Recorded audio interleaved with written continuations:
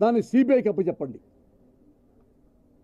అమ్మా నిన్ను ఎవడు ప్రేమలో అని చెప్పి నిన్ను కడుపు చేసి నీలో నాశనం చేసి నీకు అబార్షన్ చేయించి నీకు సినిమా జీవితం కూడా లేకుండా చేశాడు. కనీసం ఒక సంస్కారంగా బతుకుతామన్నా కానీ ఆ బతుకు కూడా లేకుండా చేశాడు అని పవన్ కళ్యాణ్ గారు ఆ అమ్మాయిని మీరు పిసల కూడా చూపించి సిబిఐకి అప్పగించి ఆ దుర్మార్గుడిని పట్టి ఆ అమ్మాయికి మీరు న్యాయం చేస్తే మీకు నేను గుడి కడతా. రాముల వారి గుడి ఆంజనేయ స్వామి గుడి వినాయకుడి వెంకటస్వామి గుడి పవన్ కళ్యాణ్ స్వామి గుడి. నేను కడతా గ్యారంటీ కడతా. ఆ ఒక్క ఆడపిల్ల జీవితం కనుక మీరు కాపాడగలిగితే మీకంటే మహాత్ములు నేను గాంధీ గారి కంటే మీరు గొప్పవాళ్ళు అంట. దేవుడి కంటే గొప్పవాళ్ళు అంట. దేవుడే మీ రూపంలో కిందకు వచ్చి ఆ పిల్ల జీవితాన్ని మళ్ళీ నిలబెట్టాడు అంట. అదొక్కటి చేయండి నాకు. మీ మీద మాకు జీవితాంతం మేము కూడా పూజిస్తూ ఎలాగైతే స్తోత్రాలు ఉంటాయో లలిత సహస్రనామాల్లాగా అలాగే పౌర సహస్రనామాలు మేము రాసి పఠిస్తూ ఉంటాం. చేస్తారా? ఆ పిల్ల జీవితాన్ని బాగు చేస్తారా? అదొక్కటి చేయండి సార్. ఇక మీరు జగనే పనికిరారు సార్ మీ ముందప్పుడు. జగన్ గారు చాలా చిన్నవాడు మీకంటే అప్పుడు. మీరు మానవాతీతులు.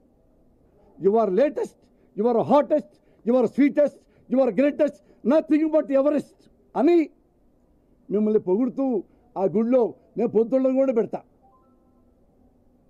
వస్తే ప్రపంచంలో బ్రతికి ఉన్న మనిషి ఒక గుడిలో ఉంటే ఏది హీరోయిన్లు గుడి లైవ్ కాదు.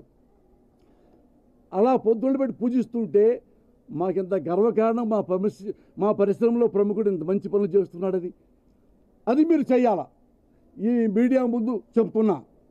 మీరు మళ్ళీ రాకపోయినా ఆ అమ్మాయి పేరు ఎత్తకపోయినా ఆ అమ్మాయికి మీరు అండదండ అండెచ్చకపోయినా మీకు జగన్ గారి గురించి మంత్రుల గురించి ఎమ్మెల్యేల గురించి అడిగే హక్కు అధికారం మీకు ఏమాత్రం రాదు మీకు లేదు.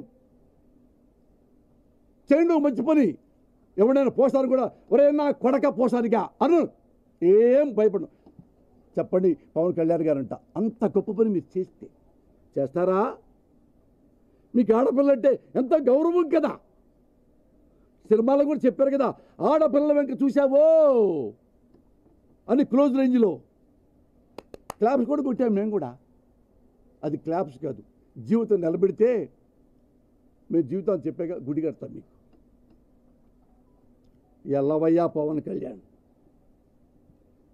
నువ్వేంటో ప్రపంచానికి తెలుసు.